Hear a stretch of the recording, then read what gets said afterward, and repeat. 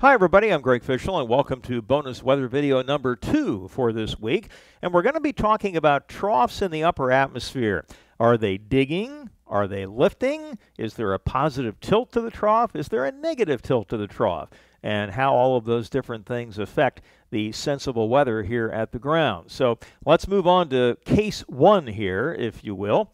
And we're going to take a look at a trough like this. Now, we, we talk about at the surface, we look at isobars, which are lines of equal pressure, and many of you know that the tighter they are, uh, tighter packing they are, more tightly packed that they are, the stronger the wind blows, okay? Well, in the upper atmosphere, it's pretty much the same thing, although instead of looking at lines of equal pressure, we look at lines of equal height. How high do you have to go up to reach a given pressure in the atmosphere?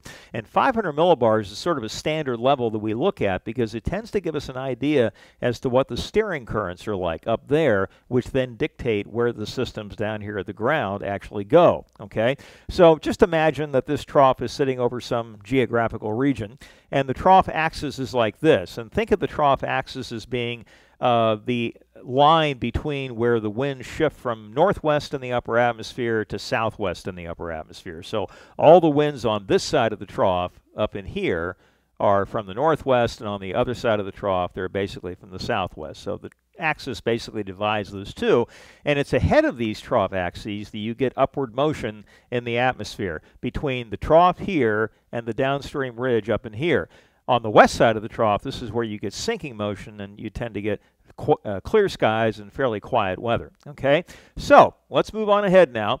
Now, notice that these lines are more tightly packed up in here than they are anywhere else in this trough. Okay, and Imagine a block of wood perpendicular to the flow, oriented like this. Now, if on one end of that block of the wood the winds are blowing really, really strongly, but up here they're much weaker, then that block of wood is going to start to rotate in a counterclockwise direction. So we're generating vorticity or spin in the atmosphere simply by nature of the fact that the winds are stronger up here than they are farther south, and so we have like a maximum of vorticity up here just to the north of where these lines are tightly packed. So, in a sense, what we're doing then is transporting higher levels of vorticity into the trough axis than currently exist. And so we would expect this trough to deepen or amplify with time and therefore would probably produce even more upward motion ahead of it. Okay, so this is what a digging trough looks like. now, let's move on to a trough that looks a little bit different. We still have our trough axis like this, but now the strongest winds are on the east side of the trough axis as opposed to the west side, okay? So now this generation of vorticity by the tightly packed lines is leaving the trough and not coming into it. And so it is, in a sense, taking the high levels of vorticity away from the trough axis as opposed to it being replenished or increased from this side. And so in this case, we would expect the trough to weaken with time, okay? So if you're, let's say you're down in here somewhere, and uh, you, are looking at this trough to your west and you're saying, oh, that trough's going to move eastward and affect us. It may not because all these lines that you see here are going to be retreating as the trough lifts out. And so if you're down in this region here, you may never see much effect from that trough, uh, if any effect at all. All right, so now let's go ahead and talk about tilt, okay? Now, this is what we call a positively tilted trough, where the axis of the trough runs from northeast to southwest, okay? Now, we have the trough down here, and then way up to the upper right in your screen is the ridge axis where the lines start to curve the other way. But there's a really long distance between that trough and that ridge. So the upward motion is spread out over a long distance.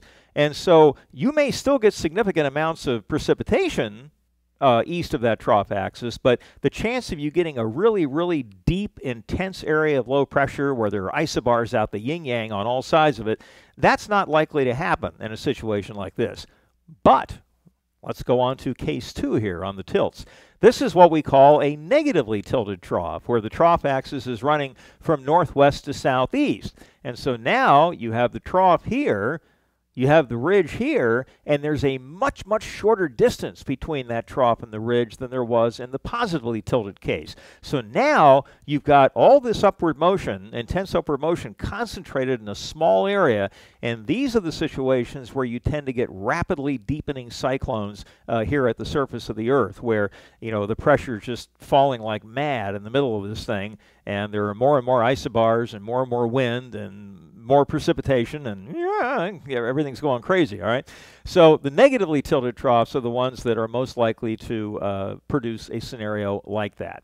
So these are just some of the things that we look for. Uh, is the trough digging? And in the digging case, you have the strongest winds coming into the trough from the northwest. Or is it lifting? Are the strongest winds now on the east side of the trough and it's going to lift out or retreat and weaken? And then what's the tilt of the trough? What is that distance between the trough axis and the downstream ridge axis? Is it a long distance or is it a short distance? And that will give us a much better idea as to whether or not we're going to get an intense cyclone, uh, very concentrated in one area, or whether or not we're going to have precipitation spread out over a long distance, but there may not be all that low a pressure anywhere along that zone. Okay, that's it for today. Hope that was mildly interesting. Uh, we'll be uh, back with another bonus weather video next Tuesday, and we'll have another daily weather update for you coming up later this afternoon. So we hope you'll join us for that. And uh, that's about it from here. So you all have a good weekend, and we'll talk soon.